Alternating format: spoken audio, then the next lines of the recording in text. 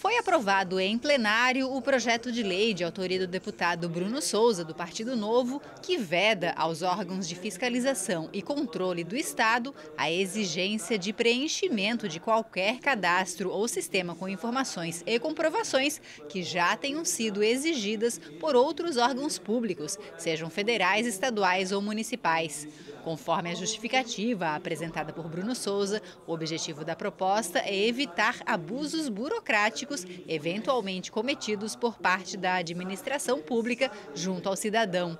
Durante a sessão, os parlamentares também aprovaram um projeto de lei de autoria do deputado Kennedy Nunes, do PTB, que determina que todos os órgãos públicos estaduais devem passar a inserir nas placas de obras um código bidimensional QR Code. O código deverá ser vinculado à página do Portal da Transparência, permitindo acesso às informações sobre a execução da obra. Tanto o projeto de Bruno Souza quanto o de Kennedy Nunes ainda precisam ser sancionados pelo governador para serem transformados em lei.